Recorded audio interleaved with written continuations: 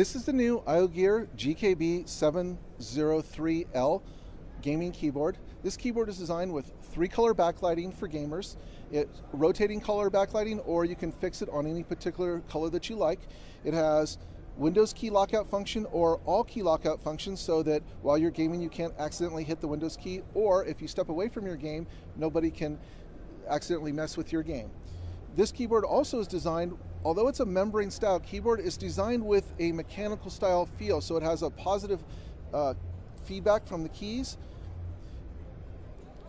And it is also uh, water resistant so should you spill anything into the keyboard you will not damage the keyboard. This keyboard features 26 anti-ghosting keys and n key rollover so every key press that you make will be recorded and long keystrokes you do not miss any keys when you're in the middle of a heated gaming session